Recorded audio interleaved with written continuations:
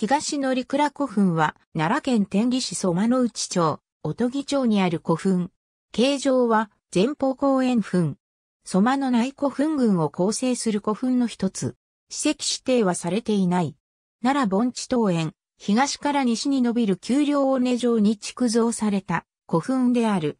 西乗倉古墳、小バカ古墳などとともに、蘇間の内古墳群のうちの一群を形成する。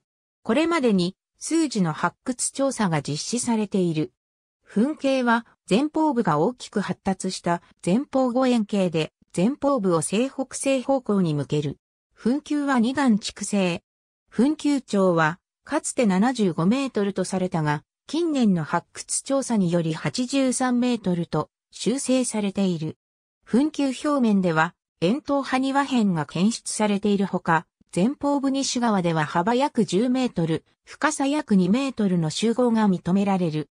主体部の埋葬施設は、公園部における右肩袖式の横穴式石室で、巨石を用いた石室全長14.6メートルを測る大型石室であり、南方向に開口する。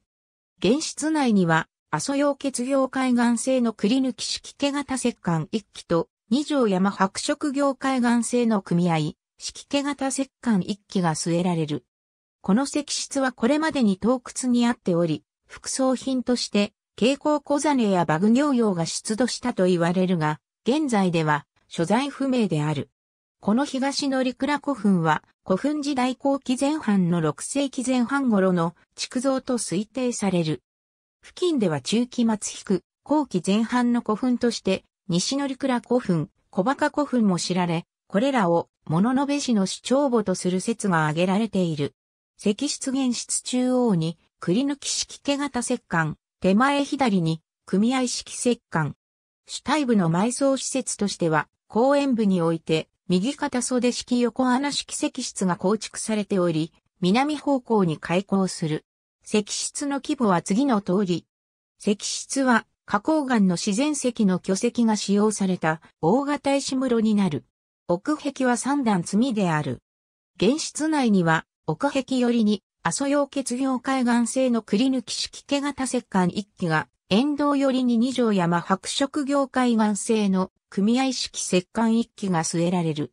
栗抜き式毛型石棺は、外石上面の平坦面が狭いという、比較的古式の石棺になり、外石には縄掛け突起が作り出される。組合式石棺は、底石のみが依存する。この石室は洞窟にあっているが、記録によれば、かつて蛍光の小金やバグの行用などが出土したという。ありがとうございます。